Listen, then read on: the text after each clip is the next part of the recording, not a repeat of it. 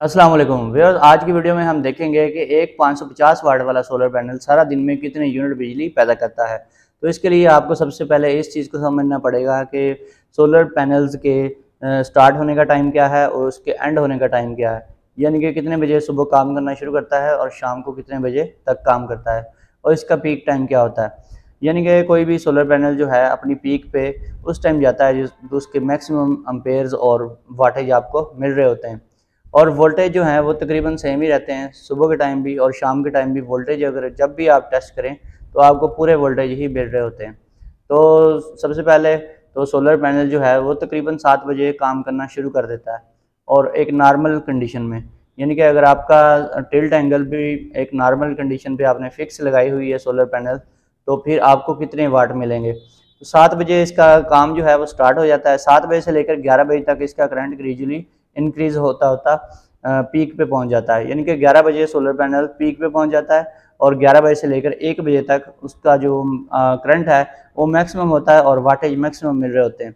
और इसके बाद एक बजे से लेकर फिर आगे चार घंटे, तकरीबन पाँच बजे तक तो फिर इसका करंट ग्रेजुअली डिक्रीज होता होता बिल्कुल एंड हो जाता है।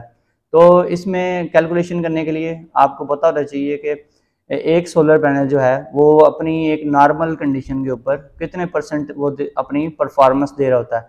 कुछ जो सोलर पैनल्स होते हैं, वो 70 परसेंट अपनी एफिशिएंसी दे रहे होते हैं और कुछ जो सोलर पैनल्स होते हैं, वो 80 परसेंट पावर प्रोवाइड कर रहे होते हैं। यानी कि 550 वाट का सोलर पैनल जो होता है, इसका अगर 70 परसेंट फाइंड आउट करें तो ये तकरीबन 385 इतने बनते हैं। और मैक्सिमम ये आपको 400 या 410 तक दे सकता है।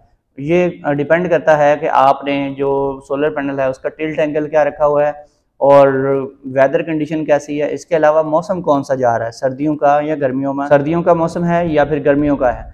और मौसम जैसे जैसे बदलता है, आपको पता है सूरज का टिल्ट एंगल भी चेंज होता है। गर्मियों में सूरज जो है, वो सर पे आ जाता है और आपने अगर सोलर पैनल ऐसे भी रखे होते हैं तो वो काम कर रहे होते हैं। और सर्दियों के मौसम में सूरज जो होता है, वो काफ़ी नीचे चला जाता है, दूर चला जाता है।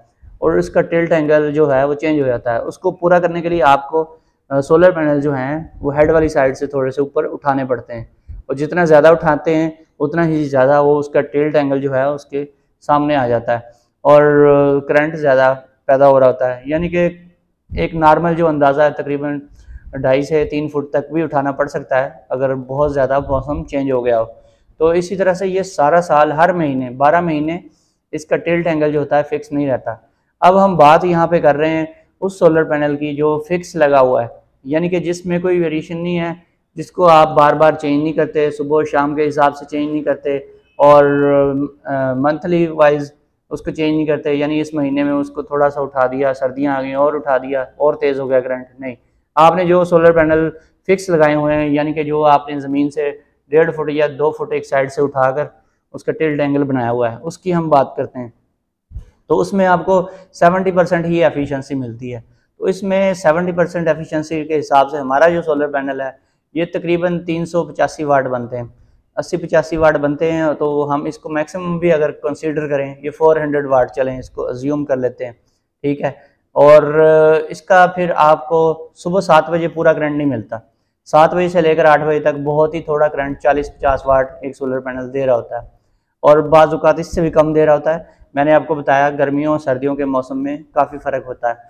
और उसके बाद आठ बजे से नौ बजे तक वाटे थोड़े से और बढ़ जाते हैं, साठ, सत्तर, अस्सी वाट तक भी जा सकता है। उसके बाद जैसे ही ये नौ से दस बजे का टाइम आता है, उसमें डेढ़ सौ से दो सौ वाट आपको मिल रहे होते हैं।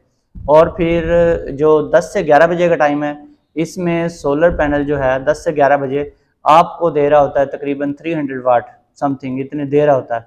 अगर हम इन चार घंटों का टोटल करें तो ये कितने वाट बनते हैं? यानी कि सुबह सात बजे से लेकर ग्यारह बजे तक ये चार घंटे हैं। इसमें ग्रेजुअली करंट जो है इंक्रीज़ हो रहा है। तो इसके बनते हैं टोटल जी, तकरीबन ये 400 या 500 वाट बनते हैं। तो अगर हम 500 वाट अज्यूम कर लेते हैं, चले 500 वाट हमें ये बन गए हमारे चार घंटों में। अब अगले दो घंटे का हिसाब करें, यानी कि ग्यारह बजे से लेकर बारह और फिर एक बजे तक। ये जो मैक्सिमम पीक टाइम होता है, इसमें सोलर पैनल अपनी मैक्सिमम एफिशिएंसी आपको दे रहा होता है। चलें, इसकी 400 लगा लेते हैं, कि 400 वाट हमें मिल रहे होते हैं। तो दो घंटों में मिल गए 400 प्लस 400 800 वाट 800 वाट ये हो गए 500 वाट पहले कैलकुलेशन की है, ये हो गए 1300 वाट अब जो अगले चार घंटे रह गए, इनकी कैलकुलेशन कर लेते हैं। उनको फिर इस थर्टीन हंड्रेड में प्लस करेंगे। इसके बाद, एक बजे के बाद दो बजे तक जो करंट होता है, वो काफ़ी कम होना शुरू हो जाता है। यहाँ पर आपको तकरीबन 250 या 300 वाट मिल रहे होते हैं।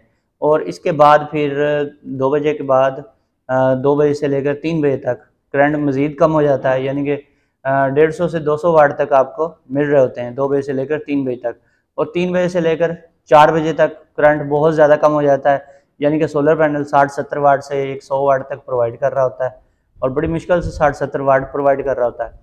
इसके बाद जो चार बजे से पाँच बजे का टाइम है, वो तकरीबन डेड टाइम है, उसमें बहुत ही कम परफॉर्मेंस मिल रही होती है यानी कि तीस चालीस वाट या पचास वाट भी मैक्सिमम मिल सकते हैं। तो पाँच बजे तक तो, उसका करंट तकरीबन ज़ीरो ही हो जाता है। तो ये अगर आप इन चार घंटों को भी टोटल करें तो ये मैक्सिमम 400 वाट या 500 वाट बनते हैं। तो हमने जो पहले बनाए थे वो बने हमारे 1300 वाट 1300 वाट में अगर हम प्लस करें इन 500 वाट को भी तो ये बनते हैं 1800 वाट तो हमारे 550 वाट के सोलर पैनल ने इन 10 घंटों में सिर्फ़ 1800 वाट प्रोड्यूस किए टोटल 1800 वाट। अब इनको अगर हम यूनिट में कैलकुलेट करना चाहते हैं तो इसको डिवाइड कर देंगे 1000 से, और ये बन गया 1.8 किलोवाट और इसको वन आर से कर देंगे तो ये बन गया जी 1.8 किलोवाट आर यानी कि पौने दो यूनिट अप्रॉक्सीमेटली बन गए।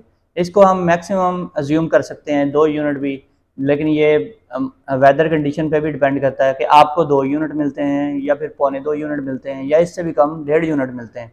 तो आप ये अंदाज़ा रखें कि आपका जो एक सोलर पैनल है, अगर आपको बहुत अच्छी कंडीशन मिली हुई है सोलर पैनल भी बहुत अच्छा है वेदर कंडीशन भी बहुत अच्छी है टिल्ट एंगल भी बिल्कुल एक्यूरेट है तो फिर आपको मैक्सिमम जो मिलेंगे वो दो यूनिट तक भी मिल सकते हैं। एक जो 550 वाट वाला जो अच्छी क्वालिटी का ए ग्रेड सोलर पैनल है, वो आपको पूरे दो यूनिट भी दे सकता है। और अगर थोड़ी सी क्वालिटी लो है या उसकी टिल्ट एंगल में डिफरेंस है या वेदर कंडीशन सही नहीं है तो आपको ये पौने दो या फिर डेढ़ यूनिट प्रोवाइड करेगा। तो इस हिसाब से आप कैलकुलेट कर सकते हैं कि आपने कितने सोलर पैनल लगाए हुए हैं तो वो कितने यूनिट आपको प्रोवाइड करके दे सकते हैं या दे रहे हैं।